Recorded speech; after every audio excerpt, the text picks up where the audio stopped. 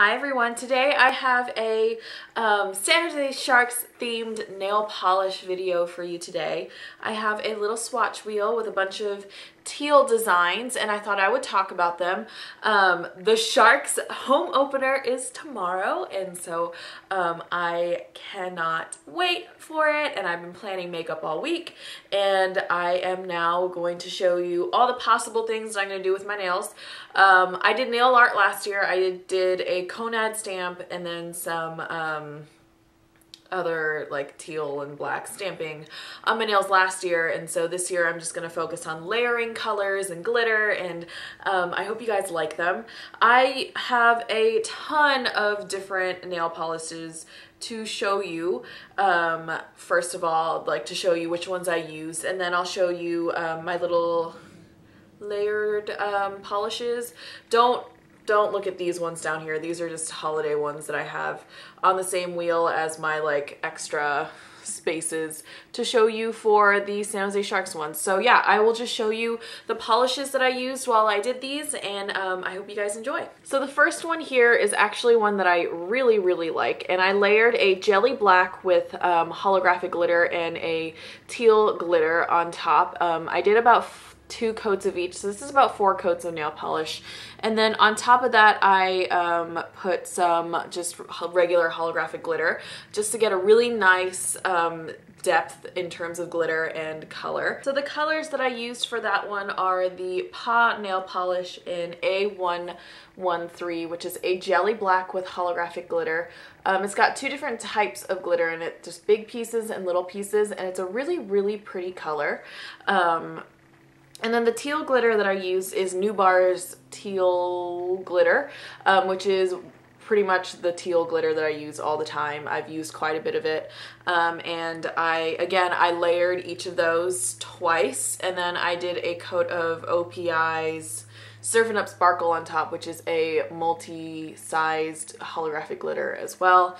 And again, that is the end product of the teal and black layering. Very, very pretty. It's probably going to be the one that I use on my like accent nail um, just because I can't stop looking at it and I love it. The next one, which is right here, is um, Up Sparkle and Teal Glitter layered um, with each other with no black in between.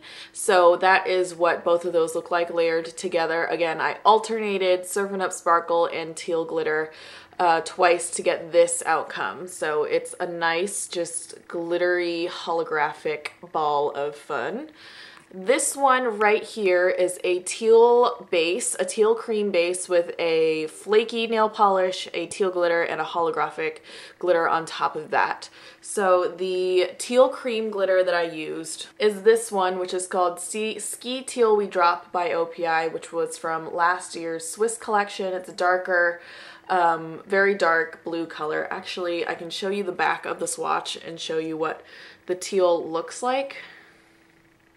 So right here is what that teal looks like on its own.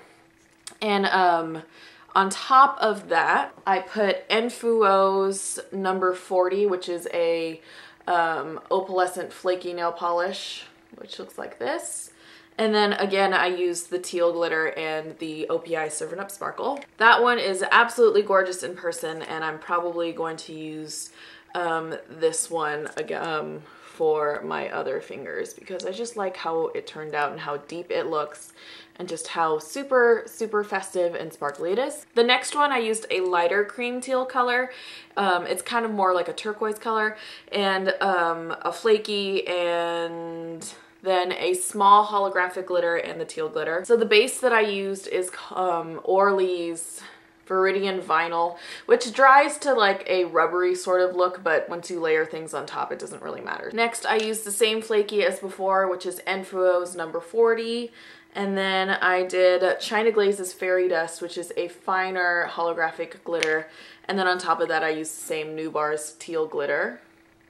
So that is what that one looks like right there. It's a lighter teal, um, again with a lot of depth and glitter.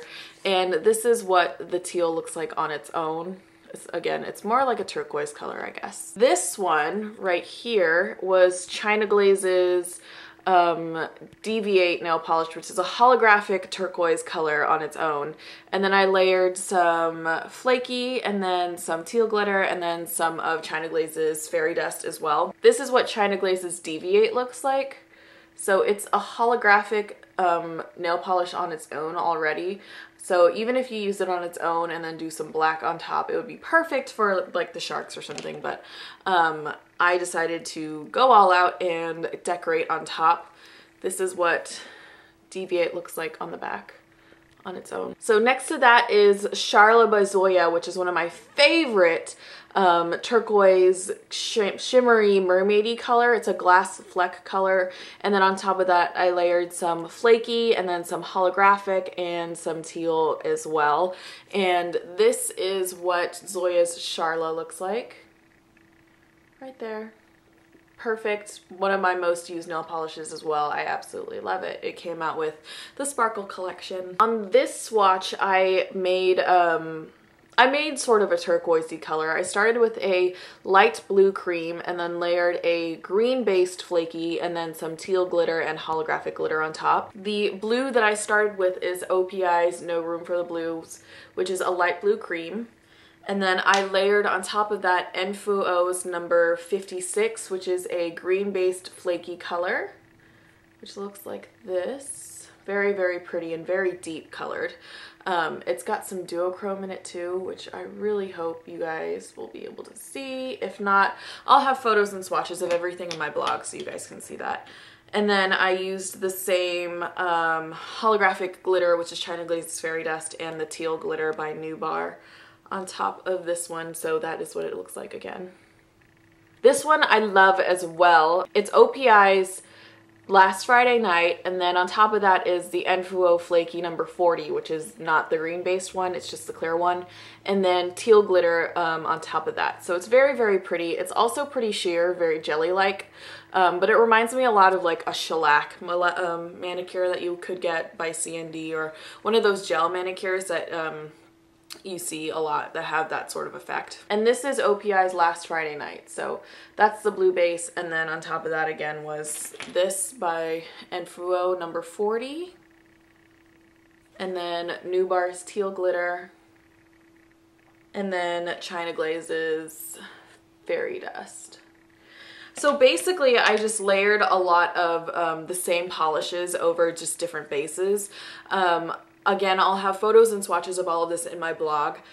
I can't wait to do this on my nails and um, go to the game and be really festive and stuff. As for makeup for the game, I'm gonna do the same makeup that I did last year, which is my San Jose Sharks um, makeup tutorial, which I'll link in the description box. Um, pretty much before every season and before playoffs start, I'm gonna have a video like this talking about all my favorite teal products um, ways to use them or just how I'm gonna do my makeup for them. So that's just why I have this video up today. Um, instead of like a real beauty video. Um, I am going to have a nail polish collection um, storage slash makeup storage video up soon. I have filmed it, um, so look out for that as well as a perfume video. I have filmed that as well, and then another tutorial coming up soon. And then in between there, I'll have um, probably my julep box video as well as my um, my other haul and um, probably my Birchbox video. And so there's a good amount of videos coming up soon. Um, so yeah, I also am on the hunt for the OPI Muppets collection because that started to come out in a couple of stores. So you guys will probably see those as well. Um, but yeah, that is just my blue, teal, super fun, mermaidy, flaky San Jose Sharks nail themed video for today. I hope you guys are well. I hope you guys are liking the background a lot better than my previous backgrounds. Um, I just decided that this is a lot better because it's not as distracting, but it's not just a blank white background and um, the lighting is better and I hope you guys are well. Have a good weekend and if you guys are going to the Sharks game, tweet me or something. Um, I'll link my Twitter in the description box. Um, if you're not going to the game, I hope you guys are watching at home and you guys have fun um, because Randy and Drew will be announcing and I missed them all summer and during the preseason. And um, yeah, I hope you guys are well and I'll see you guys soon.